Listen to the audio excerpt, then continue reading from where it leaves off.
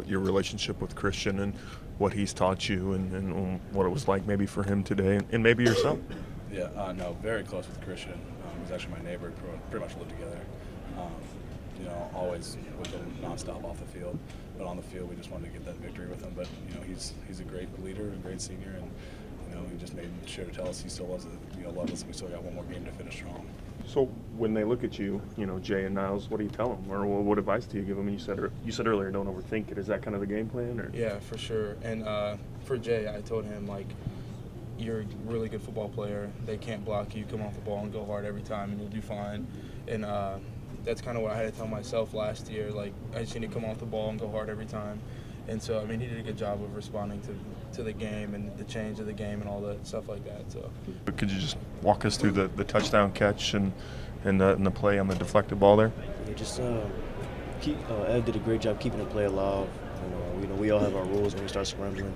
And uh, I didn't really see Corey behind me, but I broke towards the uh, end zone, and uh, I knew Corey was covered, so it was gonna be a contested catch. So it was a possibility he might might be batted down or something. So I was just right there, uh, ready for if that happened.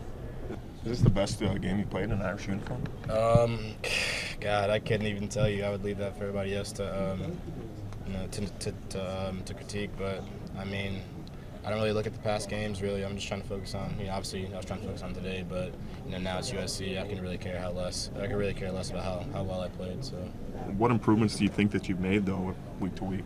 Um, wow. Um, I think just understanding the game really. You know, as far as you know what formations are going to line up in. You know what what I should expect to come my way for the most part. So.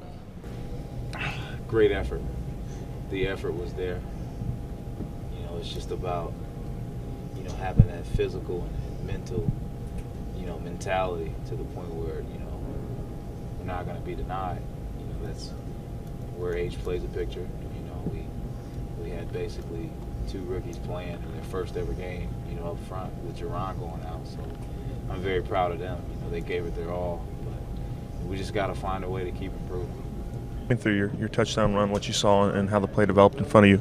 Um, it's the inside zone to the right had an edge blitzer on the right, and uh, you know he ran free, so I cut back. Everything washed in front of my face, and it was me in the corner, and I just beat him to the pile. Just touch on your relationship with you guys, guys, and this Christian King. Oh yeah, oh yeah. I mean, I, I, mean, I think uh, uh, our, our, our relationship definitely. Uh, it's, it's, you know those guys those guys are like really like I mean I came, I came in early early so, uh, so uh, I was kind of kind of in between between uh, with those with guys, those guys did it, did it in the first years like that. Like, that. So, um, like I said, like I said, it just really hurt us not us not went out for now.